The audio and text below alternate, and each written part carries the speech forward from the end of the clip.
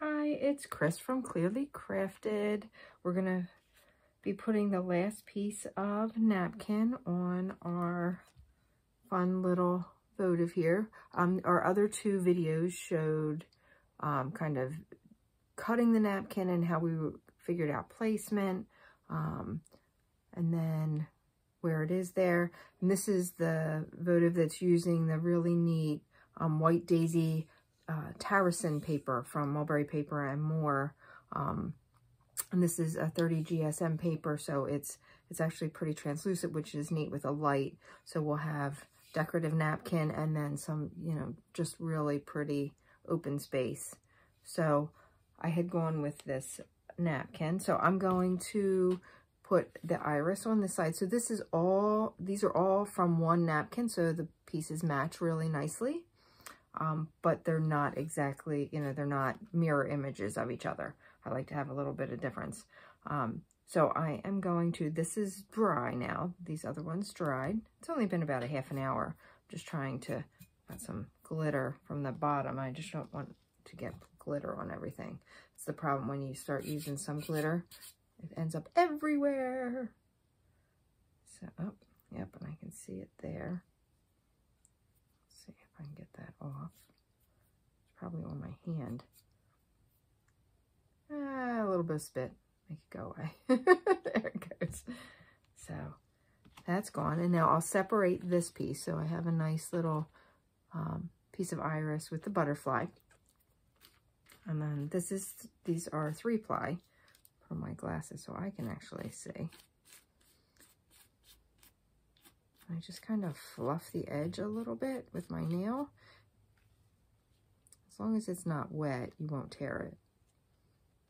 Uh, let's see, it's actually usually easier to separate. There we go. There, and that's the two layers. I can tell by the way this looks that this is the other two layers. And then this piece, this is going to go on, I want to put it on at a little bit of an angle. So it looks like it's coming up from the bottom. And you can see that's to look nice like that. It's going to be fun. So, and then I'll end up putting probably, I think I'm going to put a little bit of glitter on the two sides, not where the Tarasin paper is, because I don't want to, to glitter that, but where my napkin pieces are. I decided I wanted this on a little bit of an angle coming up. And I'm going to use a small brush and I like my satin Mod Podge. I joke that I'm not sponsored by anybody. I don't, you know, nobody knows who I am. um, actually, Mulberry Paper and More just posted one of my pieces, but, um, you know, that was, they just spotlight different people that use their supplies. So I do like their papers. So that's, you know, I gladly, they have some really neat papers that you don't see. I just ordered some funky ones that I'm already looking towards some Halloween crafting. Um, that should look really neat on some pumpkins. So I'm just very carefully, you know, just using a dry finger to spread that out. I didn't even go all the way to the edge. Um, and you can see I've, I just have it halfway down. Um, and then I'm going to come back just very lightly, not a whole lot. And I don't want to seal the edges because then I, if I have air bubbles that I'm trying to push to the side, they will get trapped and then I'll have a bubble. And that's annoying to deal with bubbles. I'd rather deal with wrinkles than bubbles. There we go. So and you can see all my edges are up still. So this bottom, I'm going to come down and that'll come around.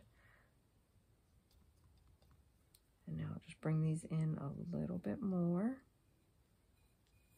And now I'm going to start from the middle. Some of these are just a little too far out there. You can see it's just kind of down basically there. And now I'm going to start from the middle with just a light coating of Mod Podge, and we're just going to go from the middle out. You can see right there, you get a little, soon as you touch wet to napkins, they tend to wrinkle. Thunder, excuse me. I just heard some thunder.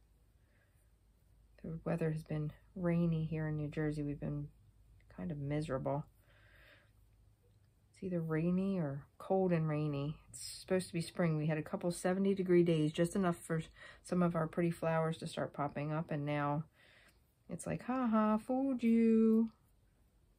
And I'm a big gardener, so that's why a lot of my, my things are outside. Pieces, flowers. I like flowers. I like animals. Um, the birds. I have a big garden out back and lots of flowers.